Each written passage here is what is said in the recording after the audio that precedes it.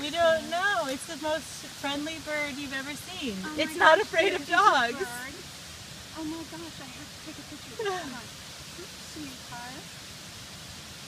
I'm going to take a picture and then Good boy. Gizmo.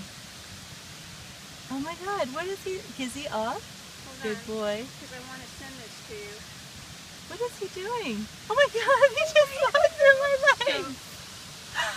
Oh, What come are on, you let me doing, feel little this. birdie? Okay, Do you here want to she go comes. Home with us?